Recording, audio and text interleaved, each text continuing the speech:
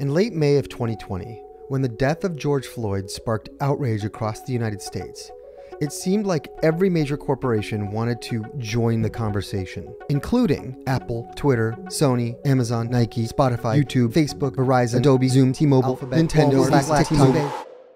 You get the idea. At one moment, all of corporate America was trying to respond to this moment of anti black racism. But there was one company that really just, their statement just stood out among the pack, and that was Ben and Jerry's. It wasn't just nice platitudes, it was actually legislation that they were calling for.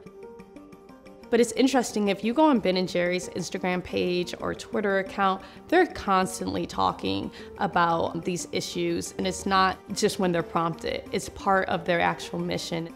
What's going on is genocide. And that mission has been the cornerstone of the brand for over 30 years. I, I, I will tell you. But does Ben & Jerry's, which in the year 2000 became a subsidiary of a multinational corporate conglomerate, really care about social justice? Or is it all just a clever way to peddle more pints?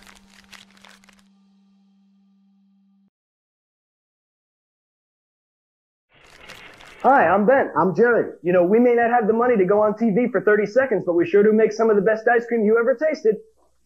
Look for us on top of every pint. In 1978, when lifelong friends Ben Cohen and Jerry Greenfield opened their first ice cream shop in Burlington, Vermont, the brand wasn't focused on activism per se. We never called it a social mission, but the business was values driven from the from the earliest days. I don't know that we were hardcore hippies per se, but we certainly believe in peace and love. So when we started as a little homemade ice cream shop, our idea was to be a little corner store that would be a community gathering place. They would donate free ice cream to nonprofit organizations, people who were using the ice cream to have celebrations or for fundraising events. Uh, the policy was not to turn down anybody. They were basically social justice activists who had stumbled into making ice cream and found that they had a lot of success at it. And as the years went on, they became more and more skilled and excited to push various kinds of social causes. Our feeling at the time was that essentially business is a machine for making money, and that if we want to be of as much service to the community as possible, what we need to do is give away as much of our profits as possible. And so we started the Ben & Jerry's Foundation the Ben & Jerry's Foundation would fund community organizations and local initiatives helping disadvantaged groups across the country. And the foundation was to receive 7.5% of the company's pre-tax profits, which was the highest percentage of any publicly held company. The corporate average is around 1.5%. I said 5%, uh, Ben said 10%, and we settled on 7.5. And, you know, the investment bankers, you know, they were in disbelief because even 5% to them made no sense. And soon, the founders began integrating their activism into products, like Peace Pops, a popsicle that would fund a new anti war charity, an idea which in itself caused some conflict. There was always a tension on the board of directors between those who wanted to really commit to pursuing social justice objectives, and those who said, no, really, what we got to do, first of all, is make sure that we do a solid uh, financial job of selling ice cream, that we have good profits. But over time, the guys and the business tried to figure out how to incorporate the values of the founders more into the day to day business decisions. And uh, that was a real evolution over a long period of time uh, with some arguing back and forth and some struggles, but eventually led to the creation of a mission statement that's based on this concept that was called linked prosperity. The idea behind linked prosperity is that as the company prospers, everything and everyone it touches will prosper. The company would have three goals, and the goals were equally important. And making a profit was only one of the goals. The second goal was making the best quality ice cream possible. And the third goal was making a significant commitment to social justice and the prosperity of the communities uh, that Ben and Jerry's served. But the linked prosperity concept wasn't entirely new. The executives of businesses in the 50s and 60s were considered members of the community, and their businesses were expected to support their communities, and they were looked down upon if they did not participate as leaders in the lives of their communities. High up in a tower in midtown Manhattan are the offices of an unique organization devoted primarily not to making money, but to giving it away wisely. This started to change really in the late 1960s, early 1970s. The change in attitude was highly identified with an economist named Milton Friedman. I'm pleased to present the number one selling book in America, Free to Choose. Please welcome the Nobel laureate in economics, Milton Friedman, right? And Milton Friedman's position was that the purpose of business is to make profits. Um, if you do anything else besides making as much profit as possible with your business, you're doing it wrong. And just tell me where in the world you find these angels who are going to organize society for us.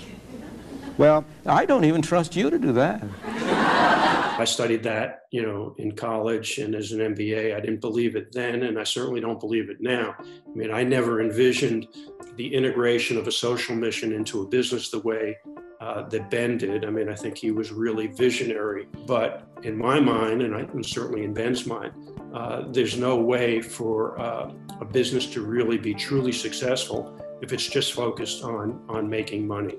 Uh, it needs to be mindful of its other constituencies, uh, its employees, its immediate community, the broader community, even the world. And um, I think Ben and Jerry played an, an integral role in hopefully putting to rest uh, Milton Friedman's famous quote. Cementing the company's priorities allowed Ben & Jerry's to integrate more social activism into the company's day-to-day operation, like sourcing fair trade ingredients, even if it meant paying higher premiums, partnering with socially responsible suppliers, like a bakery in Yonkers, providing jobs to formerly incarcerated and low-income residents, campaigning against artificial growth hormones for cows, supporting LGBTQ rights, promoting environmental justice, and more. It was really about fairness and justice and standing up for people whose voices are often not heard. And that's, you know, pretty different from a corporate approach. But I think making ice cream allows us to talk with people and connect with people about serious things in a pretty fun way. As you give, you receive. As you help others, you're helped in return. As your business helps the community, the community supports your business. Now, that generated, you know, a lot of favorable press, uh, which we think, you know, contributes to people wanting to support and buy Ben and Jerry's ice cream. But it didn't originate uh, from people sitting around in the marketing department saying, hey, you know, how can we uh, generate some more press? Still, over the years, the values triad product, profit, and community proved to be a difficult balance to maintain, especially with increasing pressure to compete with other super premium ice cream brands. As the company grew larger and larger and the profit margins grew smaller and smaller, more of the shareholders of Ben & Jerry's began to uh, question the company's commitment to spending extra money on things like employee benefits and charitable gifts and special arrangements with suppliers in tropical countries. As a publicly held company, um, you know, if uh, if your stock price is not moving up um, and you become an attractive takeover, you're susceptible to that.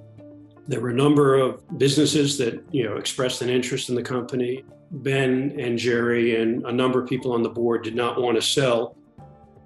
And they fought with the other directors for 18 months but they eventually lost because not selling would have meant laying off probably 40% of their staff.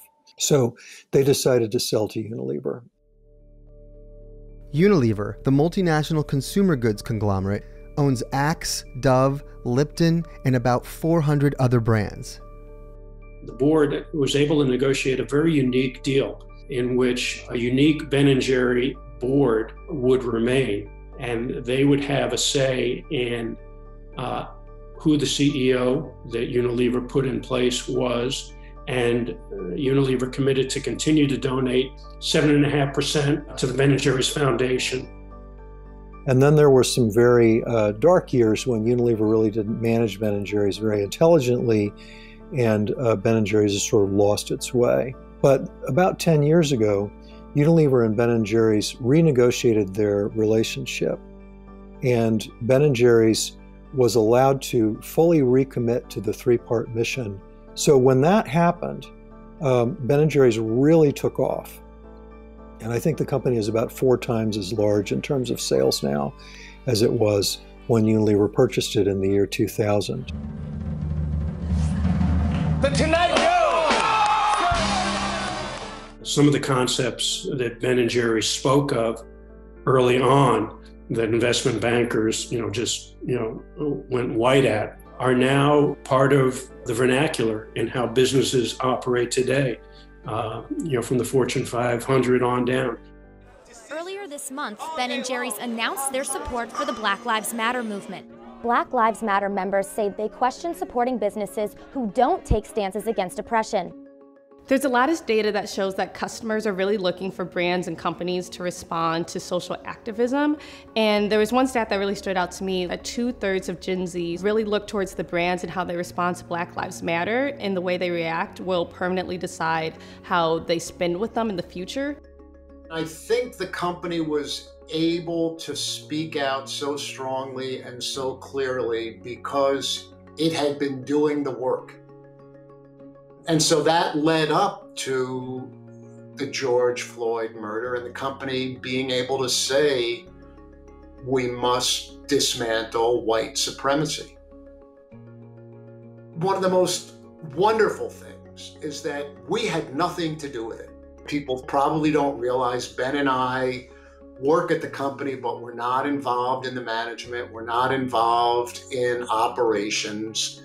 We're kind of pretty faces. You know, we're Ben and Jerry.